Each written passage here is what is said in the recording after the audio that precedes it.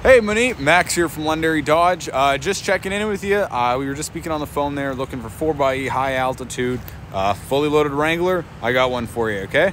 Um, so we have three. Uh, we have three. Uh, one is right in front of me here. It's a Sting-Gray uh, high altitude, and then we have two. One's white, one's black. They're all optioned identically.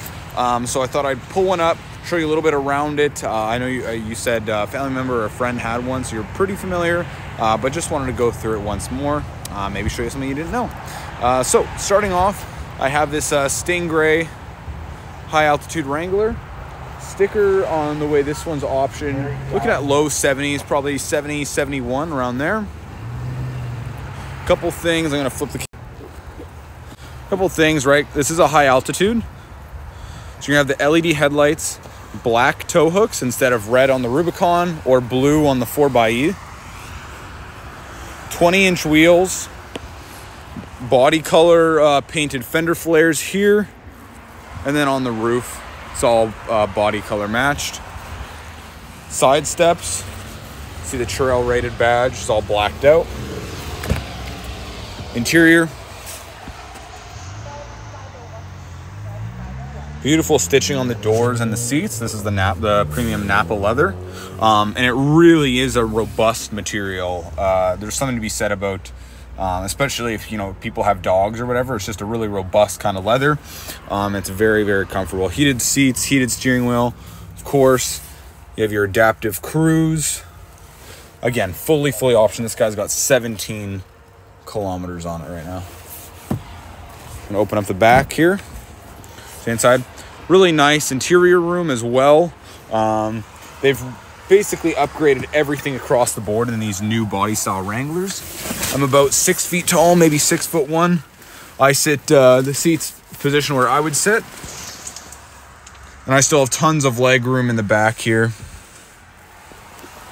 You have more charging underneath. Household style outlet. USB type C and A and um, and then your window controls, of course, rear climate vents. There's your bag to put the uh, the uh, Freedom hardtop, premium Alpine sound system. All your controls are in front of you. This also does have the upgraded transfer case controller. So it has a uh, four-wheel drive auto setting. So essentially an all-wheel drive system. Um, if I start her up for us here.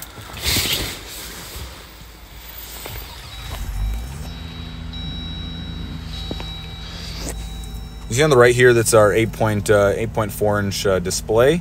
So a couple things, of course, CarPlay, Android Auto, Bluetooth, uh, Jeep um, through like the Jeep app. You know, remote start, lock, unlock your vehicle, all that sort of fun stuff. Uh, really, really lot, lot of stuff in the system, and it's super responsive, easy to use. I mean, built-in Wi-Fi, like it really does have it all.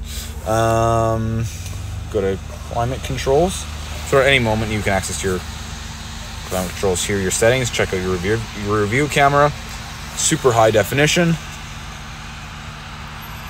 You can kind of slide it up and down. Do whatever you like. Really nice and easy. Of course, you can press in all the different modes. Very responsive, just like your iPhone. Push button start.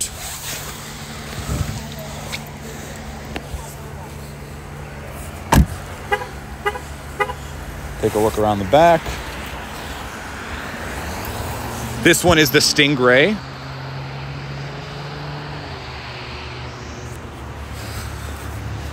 Of course, we do have all blacked out and then all white option. This is your trunk. Really nice trunk area, very spacious. It's a lot longer um, than you might actually think. It's uh, it's kind of like a, a boxy kind of shape, so you can fit a lot in here. Open this up, more storage underneath. Spare jack, tire conta container, and then uh, you got an Alpine subwoofer back here. So really, really nice. Of course, your roll cage. Oh, got to close this part first. Now we can close here.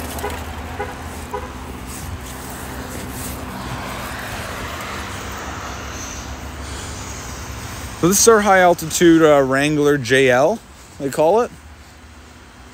Just wanted to get you a pretty good idea of what uh, what you can expect from these guys. They really, really are nice driving SUVs. Um, and I'm looking forward to seeing you down here and taking one out for a spin. Thanks so much.